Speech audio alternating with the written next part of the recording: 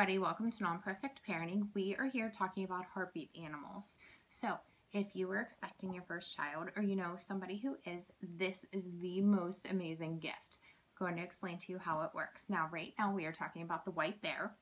The bear holds a sonogram picture here, but this is where the real magic happens. So you take this little heart with you to your next ultrasound appointment or if you have a um, CD or an audio recording of your baby's heartbeat, you transfer it here. You just um, record the baby's heartbeat on here and then you put it into your heartbeat animal and you have a precious keepsake that you're always going to have with your baby's heartbeat recording on it. So heartbeat animals have um, you can choose one of 16 different animals. They have giraffes, bears, um, a whole bunch of different ones. So you can select which one you like.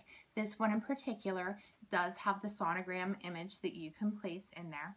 And um, the tag right here, you can see you can put the date, the gestational age, and the baby's heart rate along with it. So this makes an amazing um, baby shower gift or just a way for you to remember a really special day in your um, baby's life and in your life.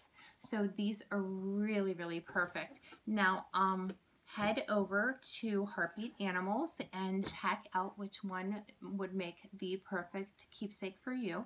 And be sure to check out Non-Perfect Parenting because you will see the entire review there. Thank you very much, everyone. Have a great day.